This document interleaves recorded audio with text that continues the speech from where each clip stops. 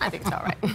Harry Cicma. Hi, how you doing? Oh, great being here. Great day for hockey, nice and cool. All three local professional hockey teams on the ice tonight, and one New York Ranger had a milestone in Philadelphia. You'll hear why tonight was very special for Marty St. Louis. Also, the Knicks prepare for a showdown in Oklahoma City. But will they have Carmelo Anthony on the court? Find out next when News 4 New York at 6 returns. Visit Verizon.com slash Fios today.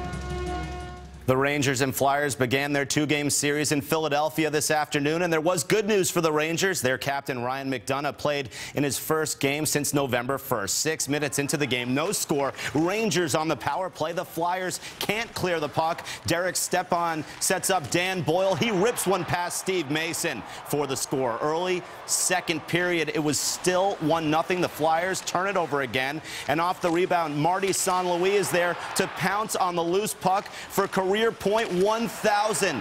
What a career for Marty. Congratulations on that milestone. The Rangers would then put the topping on the cake. The Blue Shirts were shorthanded, and they execute the three-on-one to perfection. Derek Stepan setting up Rick Nash for his 16th goal of the season. Stepan assisted on all three goals tonight. Cam Talbot also has 26 saves as he shuts out the Flyers for their second time in 10 days.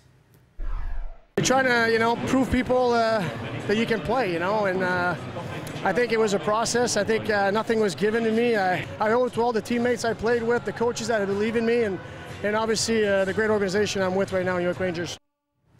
The two teams will battle again tomorrow afternoon at the Garden. Meanwhile, the Red Hot Islanders have won five straight games, and they're wrapping up a home-and-home -home series of their own tonight in our nation's capital. The Islanders spotted the Caps a 2-0 lead, but it got erased 31 seconds later. John Tavares cleaning up on the loose puck on the doorstep, number 10 on the year for the Islanders captain.